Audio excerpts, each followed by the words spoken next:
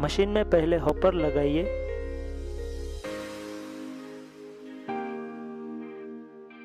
उसके बाद power cable plug in कीजिए। खास ध्यान में रखिए कि तेलीबिया बहुत गीला और सूखा नहीं होना चाहिए। साधारण तेलीबिया ही तेल निकालने में अनुकूल है।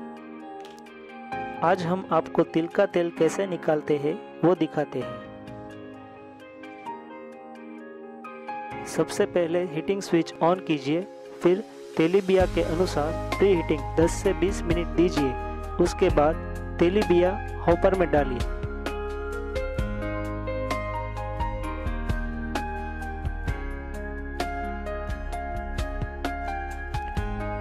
प्रोसेस के दौरान हीटिंग चालू रखना है।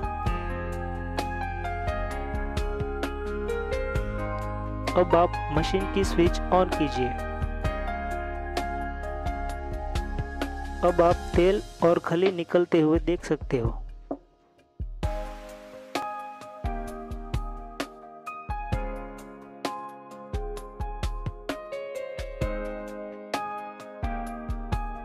प्रोसेस पूर्ण होने पर क्लीनअप स्विच 20 सेकंड तक दबा के रखिए। बाद में हीटिंग स्विच ऑफ़ कीजिए और पावर केबल अनप्लग कीजिए। अब हम मशीन की सफ़ाई कैसे करेंगे, वो जानेंगे। हॉपर को निकाल के मशीन का अगला हिस्सा उठा के रख दीजिए।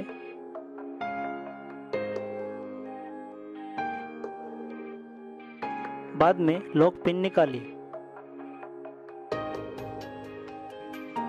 उसके बाद स्क्रू और बैरल को ठंडा होने दीजिए।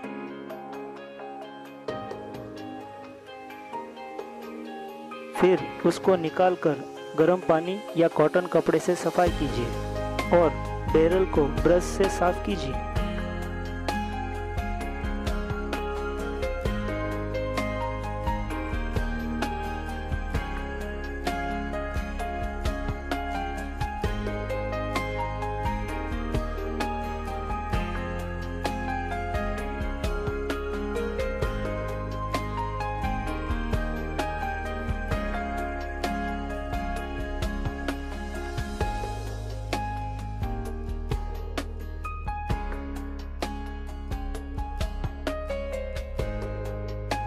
सफ़ाई होने के बाद मशीन को सही स्थान पर रखिए। अब निकला हुआ तेल को कैसे इस्तेमाल करें? निकला हुआ तेल को एक दिन तक स्थिर होने दीजिए। बाद में ऊपर का प्योर और नेचुरल तेल अलग करके आप यूज़ कर सकते हैं।